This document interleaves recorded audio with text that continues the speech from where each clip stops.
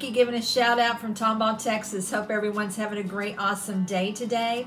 I've been asked to start sharing some of my Easter decorations that I'm doing this year in the middle of doing my March Declutter Challenge.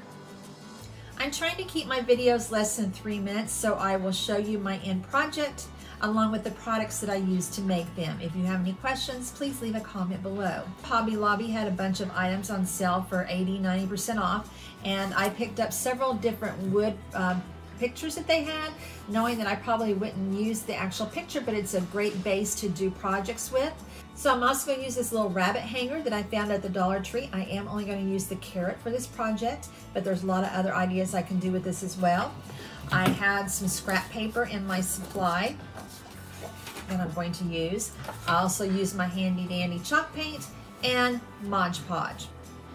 So what I did is I painted over this with my chalk paint to make a white base.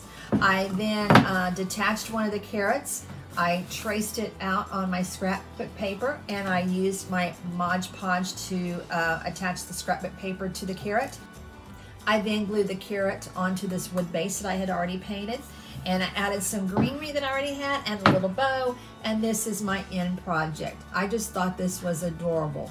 Again, just using Hobby Lobby, Dollar Tree, some scrapbook paper, some greenery, and a bow. It was a quick and easy project. So guys, I hope you enjoyed that. Again, if you have any questions or comments, just leave it below. And as always, guys, please stay safe and stay healthy until next time.